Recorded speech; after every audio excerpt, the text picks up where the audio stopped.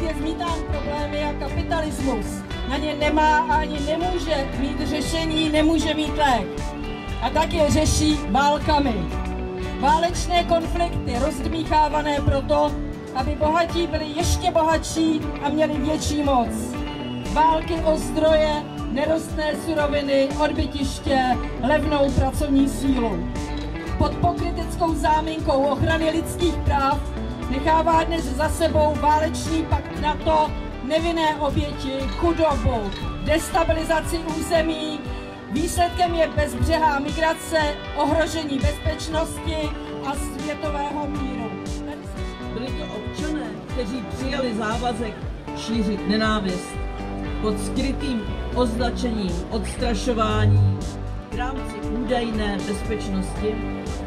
Zvyšuje snad naši bezpečnost, když někoho označíme za hrozbu, k jeho hranicím přesuneme vojáky, rakety a munici, to nám zvýší bezpečnost. Místo míru, který vždy patřil k prvnímu máji, máme plnit nárůst výdajů na zbrojení, investovat miliony korun do centrály NATO, jejich struktur a zločineckých výpadů proti jiným státům na úkor výstavby, výstavby například bytů, záchrany našeho zdravotnictví, školství a rozvoje celé naší země.